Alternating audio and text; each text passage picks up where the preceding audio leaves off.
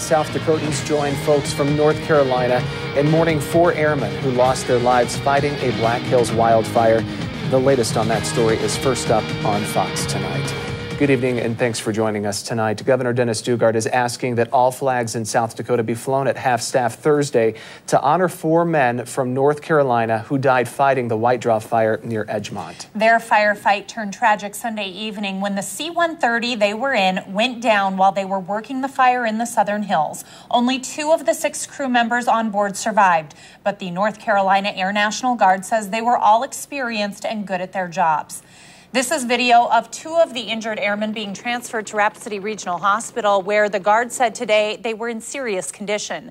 The Guard identifies the four who were killed as 42 year old Lieutenant Colonel Paul Mikeal, 36 year old Major Joseph McCormick, 35 year old Major Ryan David, and 50 year old Senior Master Sergeant Robert Cannon. All were married with children. The Guard says the men were dedicated to their jobs and that it's time to help their families cope with the loss commitment to both family and guard family is what stands out to me.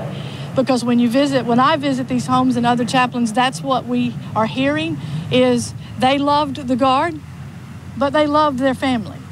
And and they were committed to both. We are very hands-on. Uh, we care about these guys. We care about their families and we're going to make sure that we do whatever we can to help them through this horrible and tragic event the Guard says at this point it would be speculation and guesswork to say why the plane went down. The investigation is expected to take weeks, possibly months, to complete. Following the crash, the government's six other C 130 tankers that assist in fighting wildfires were grounded, but the military said five of those planes were cleared for service today, and the sixth will be available tomorrow.